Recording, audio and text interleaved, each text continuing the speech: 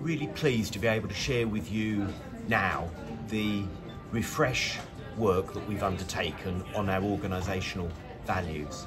The values that we've been working to up until now were first set out in 2007, so it's a long time ago. So much has changed in our world, so much has changed in the ambulance service, so much has changed in this organisation. And our teams, our colleagues have been working with staff right across the organisation, the emergency service, the patient transport service, the control rooms, etc., to review our organisational values and to refresh them to make them more relevant to the work that we all do and the world in which we all work.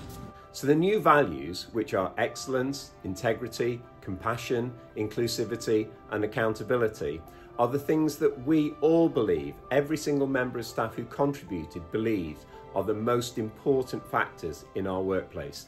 Making sure we do the very best we can for our patients. Making sure that we're transparent and honest and open in all our dealings. Making sure that we're kind, empathetic and supportive towards other members of staff but also towards patients. Making sure that we treat all with dignity and respect and that we actually value diversity in our organisation and in our population. And finally, making sure through accountability that we're held to account for our own and others' behaviours. I think the new refresh values mean that we'll all have a standard to work to. It's something we can all strive for to maintain excellence in the call centre and to make sure that patients get the right care in the right time frame. Going forward, we will align our recruitment processes to ensure that any new people that join the organisation meet those new values and behaviours. We'll look at our assessments and interview processes to ensure that those people meet the values and behaviours and in doing so we can provide the very best patient care. I think the new behaviours are absolutely fantastic because they clearly set out expected behaviours for all staff, uh, whereas the old ones were open to interpretation. These ones give, give clear guidelines on how staff should behave, what's expected, and I think it's there's no mistaking um, on what good behaviour should look like.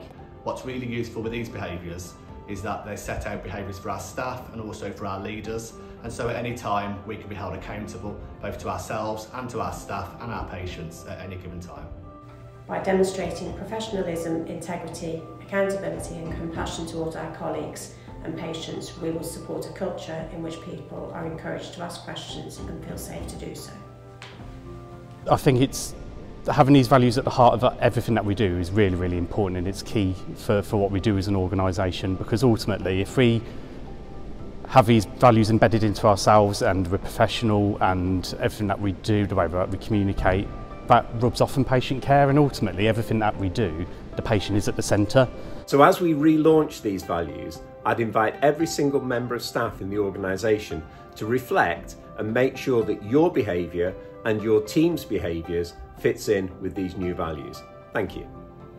Really big thank you to all of you have, that have contributed to the review and the refresh of our organisational values and I hope that they will help us improve the organisation, improve the services for our patients and also strengthen the support that we provide to all of our staff. Thank you so much